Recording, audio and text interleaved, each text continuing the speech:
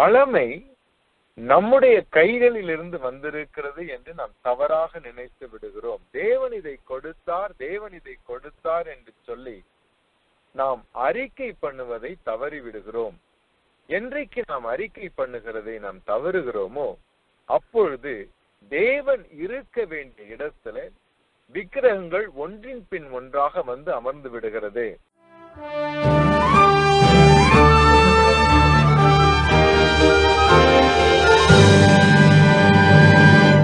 எங்களை மிகவும் அன்பாய் நேசிக்கின்ற எங்கள் நல்ல ஆண்டவரே இந்த நாளுக்காக துதிக்கிறோம் சுவாமி.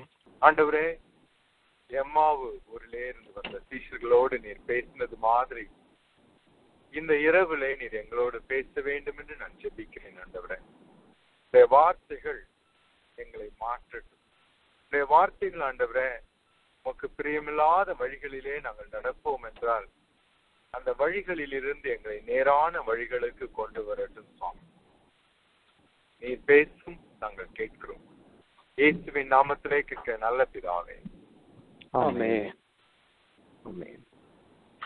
திருமறையின் திவ்ய காட்சிகளிலே நாம் ராஜாக்களின் புத்தகங்களில் இருக்கும் சம்பவங்களை நாம் தியானித்துக் கொண்டிருக்கிறோம் ராஜாக்களின் புத்தகத்திலே ஆரம்பத்திலிருந்து முடிவு வரைக்கும் தேவனின் போராட்டங்கள் என்று கூட சொல்லலாம். மனிதர்கள் என்னதான் வந்து இஸ்ரவேல் ஜனங்களை அவர் நேசித்து அவர்களுக்கென்று ஒரு வளமையான செழுமையான தேசத்தை கொடுத்து அவர்களுக்கு பாதுகாப்பை கொடுத்து ஒரு அருமையான சுதந்திரத்தை அவர்களுக்கு கொடுத்து இருந்தாலும் ராஜாக்களும் சரி அவனை சார்ந்திருக்கிற மக்களும் சரி தேவனை விட்டு விலகி விக்கிரகங்களின் மேல் அவர்களுக்கு வாஞ்சை இருக்கிறது என்பதை நாம் எல்லா இடங்களிலும் பார்க்கிறோம். காரணம் என்ன?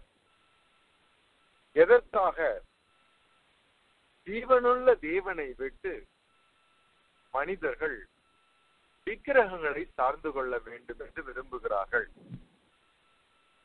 இதற்கு என்ன காரணம்?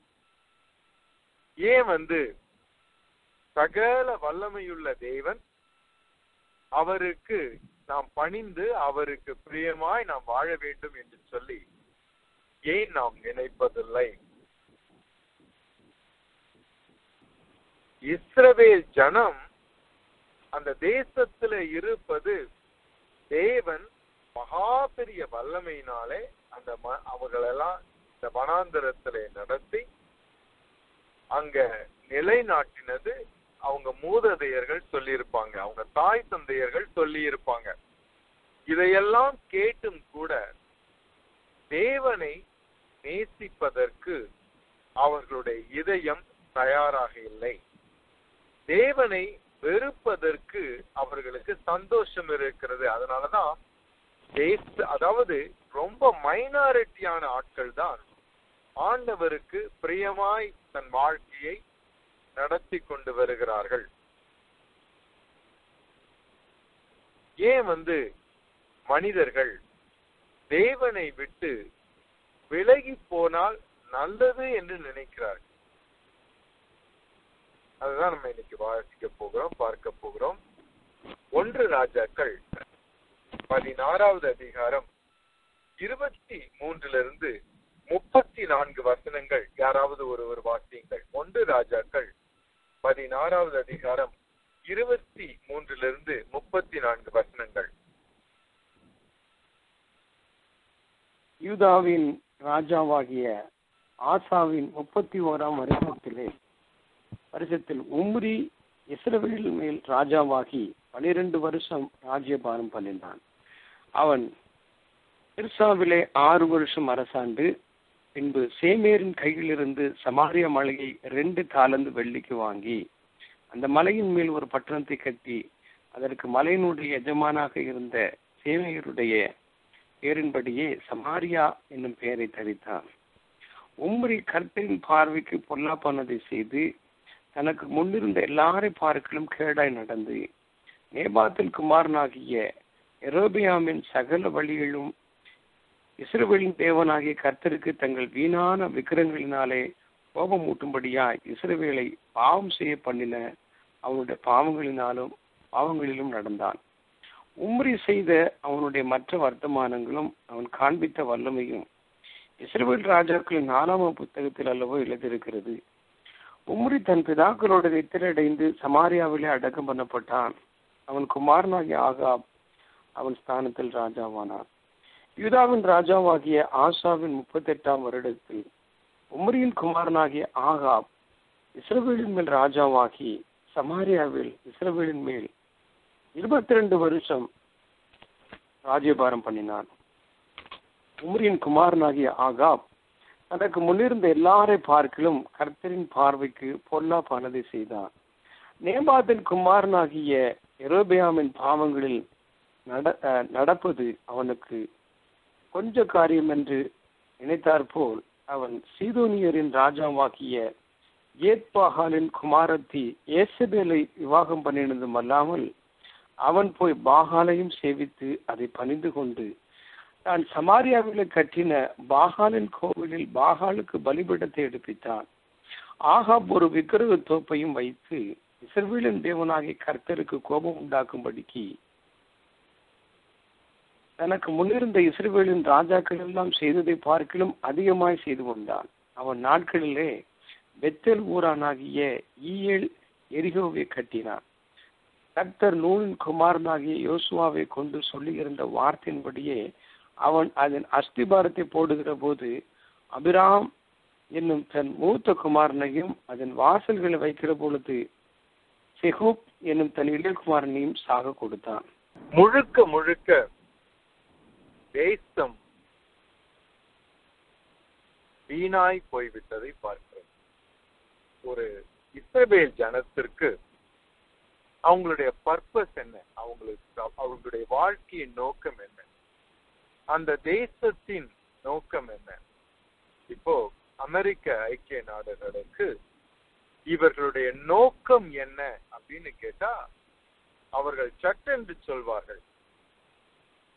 இந்த உலகம் எங்கிலும் சுதந்திரத்தை காப்பதுதான் எங்களுடைய நோக்கம் என்று சொல்வார் ஃப்ரீடம் மனிதர்கள் இந்த உலகத்திலே படைக்கப்பட்ட மனிதர்கள் சுதந்திரத்தோடு படைக்கப்பட்டிருக்கிறார்கள். மனிதர்களுக்கு கொடுக்கப்பட்ட அந்த சுதந்திரம் எல்லா மனிதர்களுக்கும் கொடுக்கப்பட வேண்டும். மறுக்கப்பட்டவர்களுக்கு சுதந்திரத்தை கொடுப்பது எங்களுடைய கடமை. அதுதான் அமெரிக்க ஐக்கிய நாடுகளின் தலையான கடமை என்று சொல்லப்பட்டிருக்கிறது. இஸ்ரேல் ஜனங்களுக்கு அது யூதா நாடா இருந்தாலும் சரி இஸ்ரவேல் ஜனமா இருந்தாலும் சரி அவர்களுடைய வாழ்க்கையின் நோக்கம் என்ன? அவர்களுடைய வாழ்க்கையின் நோக்கம் தேவனை அறிந்து அவரை அனுபவித்து இந்த உலகத்திற்கு அவருடைய அன்பை வெளிச்சம் போட்டு காட்டுவதுதான் அவர்களுடைய நோக்கம். இதுதான் பர்பஸ். அந்த தேசத்திலே அவர்கள் வாழ்வதின் நோக்கம் இதுதான். தேவனை அறிந்து கொள்வதும் அறிந்த தேவனை அறிவிப்பதும். நம்ம எல்லாருக்கும் கூட அந்த நோக்கம்தான். ஆனால் தேவனை அறிந்து கொள்ள தவறிவிட்டார்கள். அவரை அறிவிப்பது இருக்கட்டும் அறிந்து கொள்ள வேண்டும் என்று சொல்லி அவர்கள் விரும்பவில்லை. ஏன் விரும்பல ஏன் தேவனை அவர்கள் அந்நியமாய் நினைத்து விட்டார்கள்? அவர்கள் அடிமையாய் இருந்தபோது இஸ்ரவேல் ஜனங்கள் மத்தி வந்து எகிப்திலே அடிமையாய் இருக்கிறார்கள். அவர்களை இடத்துல வந்து மோசேயை தேவன் அனுப்புகிறார். மோசே போய் இஸ்ரவேலின் தேவன் யாக்கோபு ஈசாக்கு ஆப்ரஹாமின் தேவன். உங்களை சந்தித்தார் இந்த அடிமை தலையிலிருந்து உங்களை விடுதலை பண்ணும்படியாய் அவர் என்னை அனுப்பினார் என்று சொன்ன உடனே ஜனங்கள் தேவனை பணிந்து கொண்டார்கள் என்று சொல்லி நம்ம வேதத்துல வாசிக்கிறோம். அப்ப என்ன? அடிமையாய் இருந்து சாப்பாட்டுக்கு வழி இல்லாம இருந்து தினசரி தேவைகளுக்குள்ளாய் மகா பயங்கரமான வாழ்க்கையை நடத்தி கொண்ட மனிதர்களிடத்துல தேவ உணர்வு அதிகமாய் இருக்கிறது.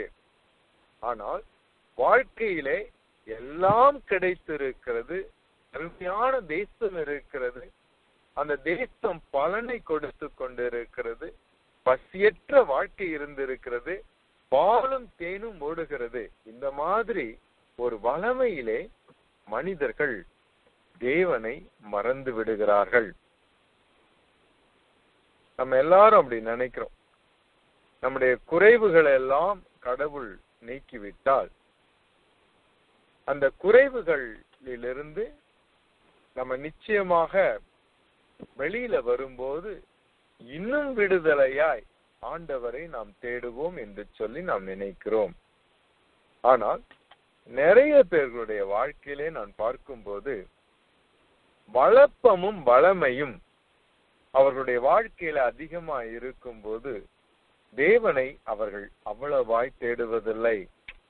ஏன் தேடுவதில்லை? தேடுவதற்கு காரணம் இருப்பதில்லை. அவர்கள் வாழ்க்கையிலே எல்லாம் கிடைத்து விடுகிறது. அவர்களுக்கு விடுதலை இருக்கிறது பணம் இருக்கிறது வீட்டிலே சாப்பாடு இருக்கிறது செல்வம் செழிப்பாய் அவர்கள் வாழ்ந்து கொண்டு இருக்கிறார்கள் எதற்காக அவர்கள் தேவனை தேட வேண்டும்?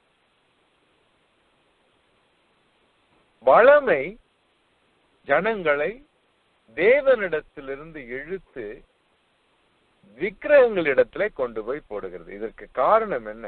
இதற்கு காரணம் என்னன்னா பாவத்தின் விழுதுகள் பாவத்தின் வேர் நம்முடைய இதயத்திலே ஒன்றி கொண்டிருப்பதினாலே வளமை நம்முடைய கைகளில் இருந்து வந்திருக்கிறது என்று நாம் தவறாக நினைத்து விடுகிறோம். தேவன் இதை கொடுத்தார் தேவன் இதை கொடுத்தார் என்று சொல்லி நாம் அறிக்கை பண்ணுவதை தவறி விடுகிறோம் என்றைக்கு நாம் அறிக்கை பண்ணுகிறதை நாம் தவறுகிறோமோ அப்பொழுது தேவன் இருக்க வேண்டிய இடத்துல விக்கிரகங்கள் ஒன்றின் பின் ஒன்றாக வந்து அமர்ந்து விடுகிறது.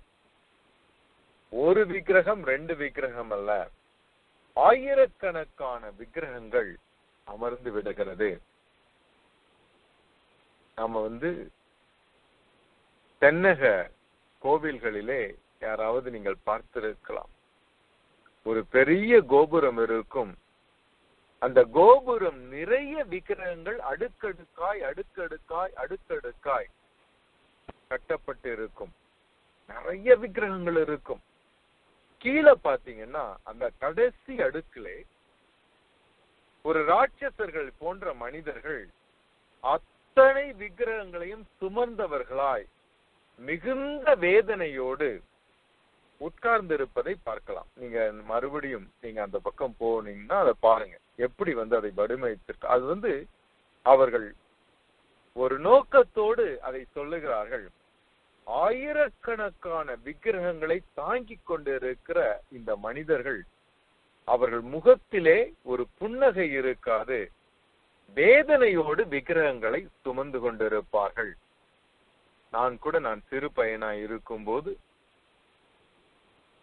காவடி தூக்குபவர்களை பார்த்திருக்கிறேன். காவடி தூக்குபவர்கள் சந்தோஷமாய் தூக்காமல் வேதனையோடு தங்களுடைய முகத்திலே வேல்களை குத்தி கொண்டு ஆணிகளை அடித்து கொண்டு காவடி தூக்கி கொண்டு போயிருப்பார்கள்.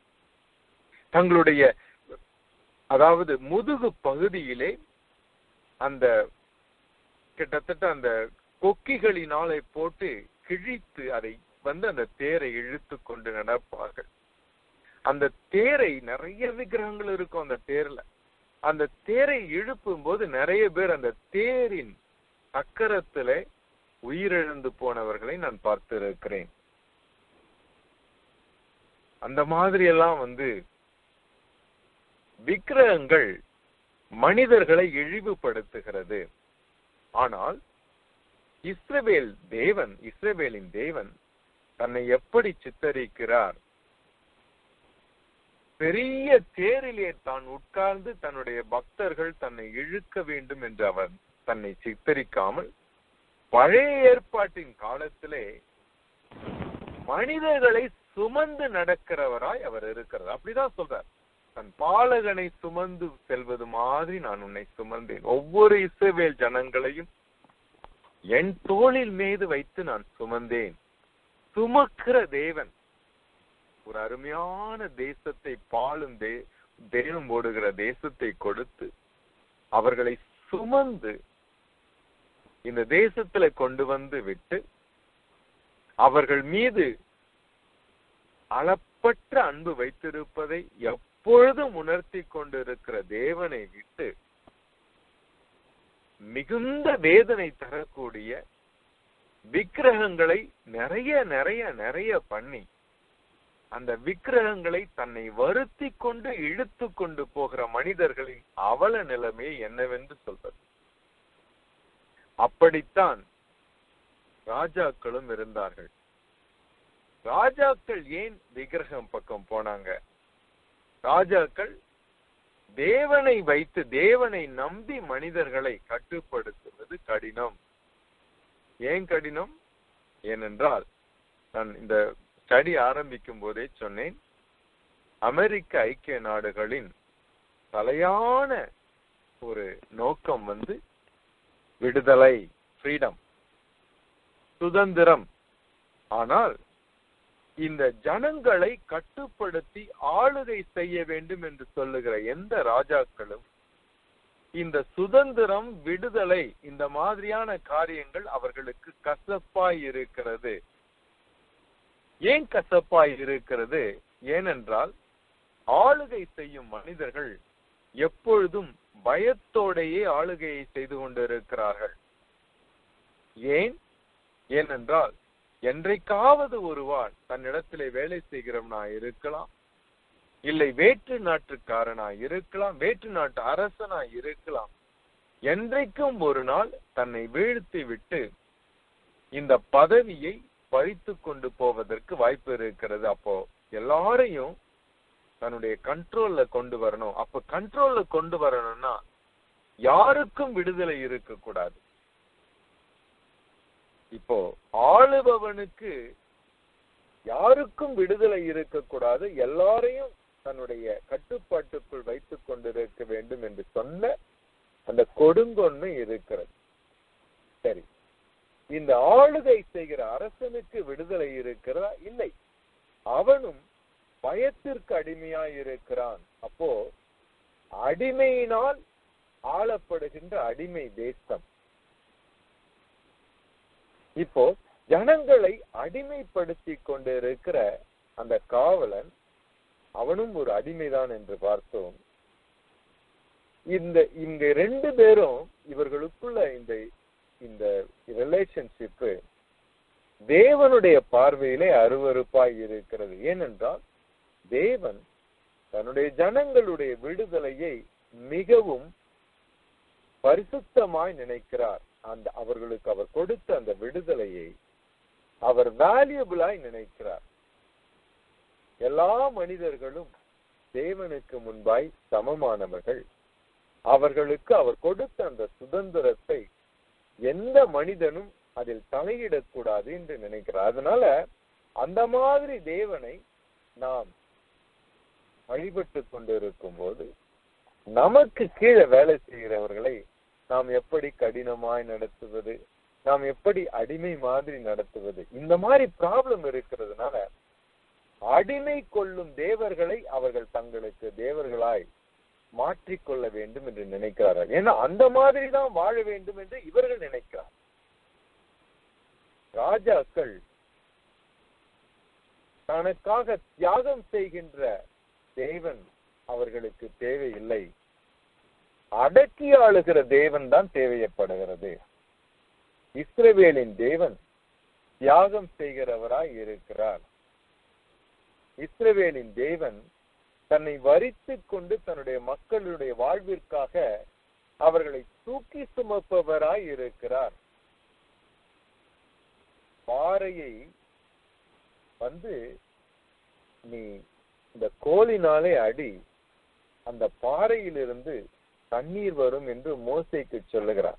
இல்லையா? அந்த பாறை யாரு? பின்னாடி புதிய ஏற்பாட்டிலே பவுல் சொல்றாரு. அந்த பாறை இயேசு கிறிஸ்துவை வடிவாக கொண்டிருக்கிறது. அதுதான் தேவன் ஆண்டவராக இயேசு அதாவது ஒரு பாறை மாதிரி தன்னை வடிவமைத்து அவர் அடிக்கப்பட்டதினாலே அந்த ஊற்று தண்ணீர் அதிலிருந்து ஓடி வருகிறது மக்களின் தாகத்தை தீர்க்கிறது. அப்படின்னா தேவன் இந்த உலகத்தை க்ஷணத்திலே படைத்த தேவன் அவ்வளவாய் அன்பு கொண்ட தேவன் தன்னுடைய அன்பை காட்டுவதற்கு தன்னை வருத்தி கொண்டு மனிதர்களுக்கு நன்மை பயக்கும்படியாய் அவர்களுடைய வாழ்க்கையிலே இடைப்படுகிறவராய் இருக்கிறார். அவருக்குள்ள ஒரு ரிலேஷன்ஷிப் இருக்கிறது. இன்டராக்டிவ் ரிலேஷன்ஷிப் இந்த மாதிரி தேவனை தேவனாய் கொண்டிருப்பது மனிதர்களுக்கு வேதனை கொடுத்தது அது சந்தோஷத்தை கொடுப்பதில்லை. ஏன் சந்தோஷத்தை கொடுப்பதில்லை என்றால் அந்த அளவிற்கு அன்பு கொண்ட தேவனுக்கு பதில் செய்யும்படியாய் வாழ்வது கடினமான ஒரு வாழ்க்கை என்று அவர்கள் நினைக்கிறார்கள். அது கிட்டத்தட்ட உண்மைதான். யாராவது ஒருவர் நமக்கு வந்து நம் மீது ரொம்ப அன்பாய் இருக்கிறாங்கன்னு வச்சுக்கோங்க. நமக்கு அவர்களுக்கு பதில் செய்வதற்கு நேரம் எல்லாம் இல்லை. நேரமும் இல்லை மனமும் இல்லை.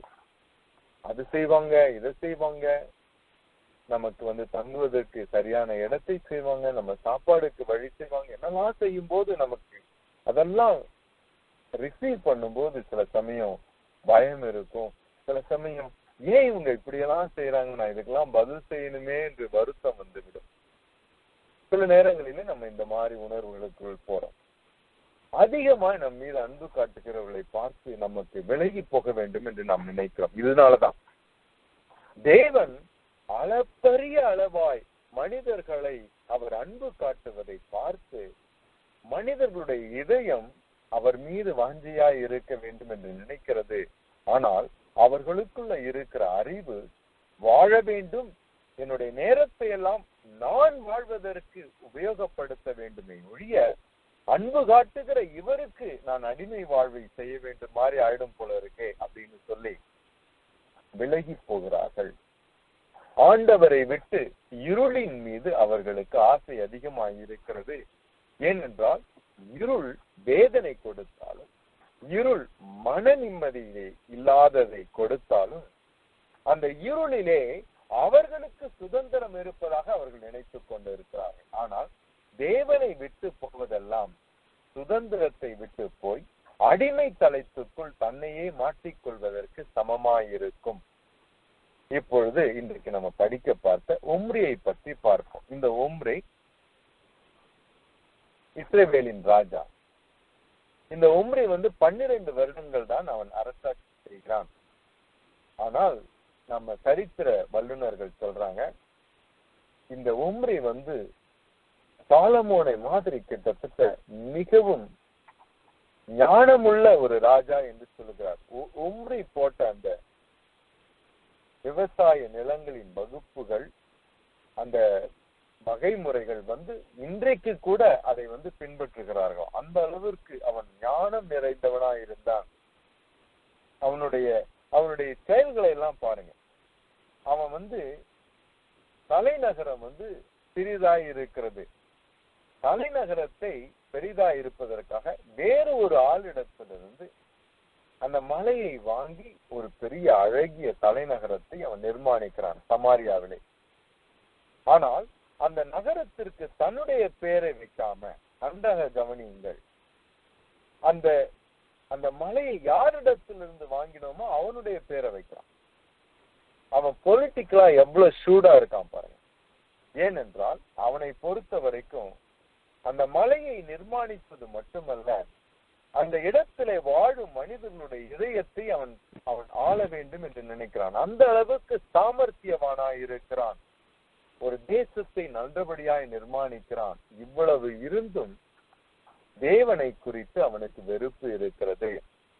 வாழ்க்கையிலே ரொம்ப ஞானமாய் இருக்கிறார்கள் என்பதினாலே தேவனிடத்திலே அவர்களுக்கு பங்கு இருக்கிறது என்று அர்த்தமில்லை. வாழ்க்கையிலே ரொம்ப ஃபூலிஷா இருக்கிறார்கள் ஞானமற்று இருக்கிறார்கள் என்பதினாலே அவர்களுக்கு தேவனிடத்துல எந்த உறவும் இல்லை என்றும் அர்த்தம் இல்லை நாம சக்சஸே இல்லாம ஒரு சாதாரண மனிதர்களாய் சுவடு தெரியாமல் கூட மறைந்து விடலாம். ஆனால் தேவனிடத்துல மிகுந்த அன்போடு கூட வாழ்ந்து அப்படியே மறித்து போயிருக்கும். வாழ்க்கையில ரொம்ப பெரிய பிரில்லியண்டா இருந்து அநேகருக்கு பிரயோஜனமாயிருந்து தேசத்திற்கு பெரிய பிரயோஜனமாயிருந்து தேவனற்று நித்தியத்திற்குள்ளாய் போகிறவர்களும் உண்டு. உம்ரி தேவனற்றவனாயிருந்தான். விக்கிரக வழிபாட்டுக்காரனாயிருந்தான். அவனுக்கென்று தேவர்களை உருவாக்கி கொண்டான். அவன் வந்து தான் மற்ற எல்லா ராஜாக்களும் செய்யற மாதிரி பாவத்தை செய்தது மட்டும் இல்லாமல் ஆகாப் தன்னுடைய குமாரனுக்கு ஒரு மோசமான பெண்ணை மனம் செய்து வைக்கிறான். வேதத்துல போட்டிருக்கு. அவ்வளவு ஒரு மோசமான ஒரு பெண்ணை மனம் செய்வதற்கு காரணமாயிருக்கிறான் அவ வந்து நம்ம பார்க்க போகிறோம். ஆகாவுடைய வாழ்க்கையில அவனுடைய மனைவி இஸ்ரேபேல் ஜனங்களுக்கு செய்த கொடுமைகளை இந்த விக்கிரக வழிபாட்டை எப்படி ஒரு ஸ்டேட் ரிலிஜனாய் அவள் மாற்றினாள் என்றெல்லாம் நம்ம பார்க்க போகிறோம். ஆனால் உம்ரியும் சரி ஆகாபும் சரி மிகுந்த வல்லமையுள்ள ராஜாக்களாகவும் வெற்றி நிறைந்தவர்களாகவும் இந்த உலகத்தின் பால் அவர்கள் வந்து மிகவும் உயர்ந்தவர்களாக காணப்பட்டார்கள். பின்னாடி நம்ம பார்க்க போகிறோம். எப்படி காணப்பட்டார்கள் என்றால் தேவனை நேசிக்கின்ற ராஜாக்கள் கூட அவர்கள் மீது அவர்களோடு நட்பு கொள்ள வேண்டும் என்று நினைத்தார்கள். உம்ரியுடைய குடும்பத்தோடு நட்பு கொள்ள வேண்டும் என்று நினைத்தார்கள். ஆகாப்புடைய குடும்பத்தோடு நட்பு கொள்ள வேண்டும் என்று நினைத்தார்கள். அந்த மாதிரி ஒரு கவர்ச்சிகரமான ஒரு வாழ்க்கையை அவர்கள் வாழ்ந்து வந்தார்கள். அதுதான் நம்ம பார்க்க போறோம். ஏன்? தேவனற்ற மனிதர்களுடைய வாழ்க்கை ரொம்ப நன்றாக இருக்கிறது. ஏன் அது கவர்ச்சிகரமாய் இருக்கிறது என்று வரும் வாரங்களிலே நாம பார்க்க போகிறோம். ஒன்றே ஒன்று முக்கியம். மறுபடியுமாய் நான் சொல்லுகிறேன். ஒரு தேசத்திற்கு ஒரு நோக்கம் உண்டு. தனி மனிதர்களுக்கு ஒரு நோக்கம் உண்டு. ஒரு ராஜாவுக்கு ஒரு நோக்கம் உண்டு. நமக்கு என்ன நோக்கம் இருக்கிறது? நம்ம யோசித்து பார்ப்போம். அவரை அறிகிறதும் அறிந்த அவரை மற்றவருக்கு சொல்வதும் அந்த நோக்கம் நமக்கு இருக்கிறதா? இல்லை நாம் விக்கிரகத்திற்கும் அவரை அறிகின்ற அந்த காரியத்திற்கும் முன்னும் பின்னும் நடந்து கொண்டிருக்கிறோமா என்பதை யோசிப்போம். என்னுடைய வாழ்க்கையின் நோக்கம் இந்த வயதிலே நான் முப்பது வயதாய் இருக்கலாம் இருபது வயதாய் இருக்கலாம் நாற்பது வயதாய் இருக்கலாம் ஐம்பது வயதாய் இருக்கலாம் அறுபது எழுபது எண்பது எந்த வயதாய் இருந்தாலும் இந்த நாளிலே என்னுடைய நோக்கம் என்னவா இருக்கிறது? அவரை அறிந்திருக்கிறேனா? சுமந்து வந்த அவரை அறிந்திருக்கிறேனா? எனக்காய் சிலுவையிலே இன்னுயிரை கொடுத்த அவரை தெரிந்து கொண்டிருக்கிறேனா? தெரிந்து கொண்டு அவருக்கு ஊழியம் செய்கிறேனா? அவரை நேசிக்கிறேனா? அவரை மற்றவர்களுக்கு இந்த மாதிரியான வார்த்தைகளை நம்ம கேட்டுக்கொண்டே இருப்போம் என்றால் நாம் பிழைப்போம். இல்லாவிட்டால் நம்முடைய வாழ்க்கையும் இந்த இஸ்ரேவேலின் ராஜாக்கள் மாதிரி பெருவாரியான ராஜாக்கள் மாதிரி பொலிவிழந்து போய்விடும். அடிமைத்தனத்திலே நாம் ஆளப்பட்டு கொண்டிருப்போம். நான் ஏற்கனவே சொன்னேன் இல்லையா? திரளான விக்கிரகங்களை சுமந்து கொண்டிருக்கிற அந்த துவார பாலகர்கள் மாதிரி நாமும் வேதனையோடு நாம் ஏற்படுத்தி கொண்ட விக்கிரகங்களை சுமந்தவர்களாய் நம்முடைய வாழ்க்கை முடிந்து போகும். நம்முடைய வாழ்க்கையை ஜாக்கிரதையாய் பார்ப்போம். நாம் எப்படி இருக்கிறோம்? ஆண்டவரை நேசித்தவர்களாய் நேசித்துக் கொண்டே இருப்பவர்களாய் இருக்கிறோமா? யோசித்து பார்ப்போம். நல்ல ஆண்டவரை நாளுக்காய் உமக்கு நன்றி செலுத்துகிறோம் சுவாமி. ஆண்டவரே விக்கிரகங்களை சுமந்து கொண்டு இருக்கிற துவார பாலகர்களை மாதிரி அல்ல சுவாமி. ஆண்டவரே எங்களை சுமக்கிற உண்மை நாங்கள் ரட்சகரும் மீட்பரும் தேவன் என்று அறிய எங்களுக்கு உதவி செய்தல்ல சுவாமி. எந்நேரமும் உம்முடைய நினைவு எங்களுடைய இதயத்துல இருக்கட்டும். எங்களை நீ நினைத்து கொண்டு இருக்கிறேன் உண்மை நாங்கள் நினைக்க கர்த்தர் எங்களுக்கு அணுகையும் செய்தரல சுவாமி. உடைய பார்வையில எப்பொழுதும் நாங்கள் திவ்யமாய் நடக்க எங்களுக்கு உதவி செய்தரலாம் இயேசுவின் நாமத்திலே கிட்ட நல்ல பிதாவே. ஆமே